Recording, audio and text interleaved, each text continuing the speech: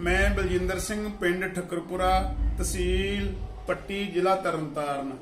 ਅਸੀਂ ਇੱਥੇ aloe vera self help group ਬਣਾਇਆ ਵਾ, ਜਿਹੜਾ ਸਾਡਾ ਬਹੁਤ ਵਧੀਆ ਚੱਲ ਰਿਹਾ ਵਾ।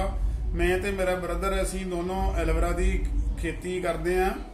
ਤੇ ਅਸੀਂ ਐਲਵਰਾ ਤੋਂ ਐਲਵਰਾ ਦਾ ਜੂਸ ਤਿਆਰ ਕਰਦੇ ਆ, ਜਿਹੜਾ ਜੂਸ ਸਿਹਤ ਵਾਸਤੇ ਬਹੁਤ ਹੀ ਵਧੀਆ ਵਾ। ਇਹ ਅਨੇਕਾਂ ਰੋਗ ਦੂਰ ਕਰਦਾ ਵਾ। ਇਹ ਤੋਂ ਇਲਾਵਾ ਅਸੀਂ ਐਲਵਰਾ ਤੋਂ ਹੀ ਫੇਸ ਕਰੀਮ ਤਿਆਰ ਕਰਦੇ ਆ ਇਹ ਤੋਂ ਇਲਾਵਾ ਐਲੋਵੇਰਾ ਤੋਂ ਹੀ ਸਾਬਣ ਤਿਆਰ ਕਰਦੇ ਆ ਇਹ ਤੋਂ ਇਲਾਵਾ ਅਸੀਂ ਸ਼ੈਂਪੂ ਤਿਆਰ ਕਰਦੇ ਆ ਐਲੋਵੇਰਾ ਤੋਂ ਹੀ।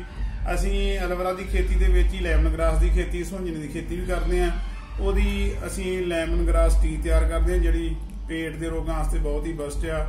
ਇਹ ਇਹ ਸਾਡਾ ਸਾਰਾ ਵਧੀਆ ਚੱਲ ਰਿਹਾ ਵਾ। ਤੇ ਇਹਦੇ ਵਿੱਚ ਸਾਨੂੰ ਸਹਿਯੋਗ ਵੀ ਮਿਲ ਰਿਹਾ ਵਾ। ਲੁਧਿਆਣਾ ਯੂਨੀਵਰਸਿਟੀ ਤੋਂ ਜਿਹੜੀਆਂ ਕੋਈ ਨਵੀਆਂ ਹਦਾਇਤਾਂ ਆਉਂਦੀਆਂ, ਸਾਡੇ ਡਿਸਟ੍ਰਿਕਟ ਦੇ ਵਿੱਚ ਜਿਹੜਾ ਇੱਕ ਸੈਂਟਰ ਆ, ਲੁਧਿਆਣਾ ਯੂਨੀਵਰਸਿਟੀ ਵਾਲਿਆਂ ਦਾ, ਫਾਰਮ ਸਲਾਹਕਾਰ ਕੇਂਦਰ ਤਰਨਤਾਰਨ। ਉਹਨਾਂ ਦਾ ਸਾਰਾ ਸਟਾਫ ਸਾਡੀ ਮਦਦ ਕਰਦਾ ਰਹਿੰਦਾ। ਇਸ ਤੋਂ ਇਲਾਵਾ ਇਹ ਪੰਜਾਬ ਐਗਰੋ ਵੱਲੋਂ ਵੀ ਸਾਡੀ ਰਜਿਸਟਰਡ ਆ।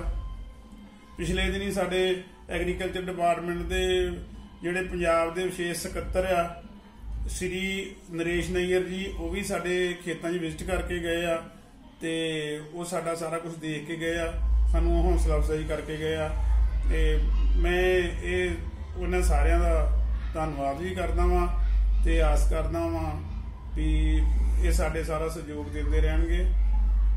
ਮੇਰਾ ਮੋਬਾਈਲ ਨੰਬਰ ਆ 82 83 81 32 66 ਕੋਈ ਵੀ ਐਲੋਵੇਰਾ ਸੰਬੰਧੀ ਜਾਣਕਾਰੀ ਲੈਣੀ ਹੋਵੇ, ਤੁਸੀਂ ਮੇਰੇ ਨਾਲ ਸੰਪਰਕ ਕਰ ਸਕਦੇ ਹੋ।